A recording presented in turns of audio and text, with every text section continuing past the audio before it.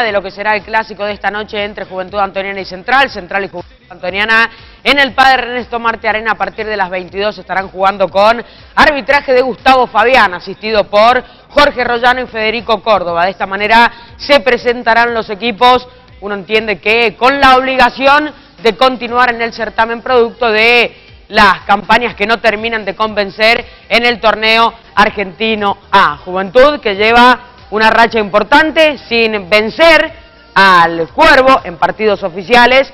Por esto mismo, hoy será doble el desafío teniendo en cuenta que podrá quedarse con el compromiso y encima cortar esta racha que contamos.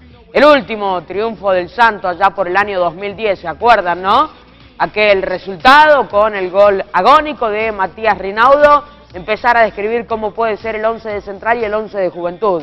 El Cuervo con un mix, teniendo en cuenta que Coleoni deja los titulares para la competencia que más prioriza o que más le interesa, como es el torneo argentino A y la salida de las últimas posiciones. Central Norte con Salort, Bianco, González, Aguirre y Tomás Armella en la última línea. Mitad de cancha para Apaza, Campos, Medina, Fabio Jiménez. Arriba Artura y Perillo. El banco de suplentes tendrá a De Giorgi, Fretes, Comini, Zurita, Verdún, Magno y Altamirano. Por el lado de Juventud Antoniana iría con Maino en el arco, reemplazando al arquero Viola, que viene siendo titular en el torneo argentino A.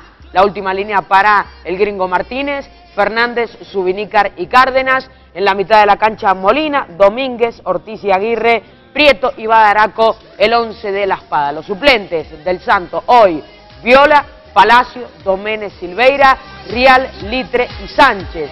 El goleador Rodrigo Sánchez en el banco de relevo. Las entradas se venderán en ambos clubes de 10 a 18 horas, luego la venta se trasladará al Marte Arena y los precios son generales 50 pesos, preferenciales 60, para damas, jubilados y menores 35 pesos en este sector, platea para mayores 80 pesos, para damas, menores y jubilados este sector será de 65 pesos. Un nuevo clásico se nos avecina contando que el equipo perdedor o la hinchada del equipo perdedor será la primera en retirarse esta noche para que no se repita ningún inconveniente y ningún incidente. Lo lamentable que se vio en el último partido que se disputó entre Central y Juventud en el Marte Arena. El operativo policial tendrá 830 efectivos trabajando desde las 7 de la tarde controlando el ingreso de ambos simpatizantes, los de Central y los de Juventud Antoniana. Copa Argentina,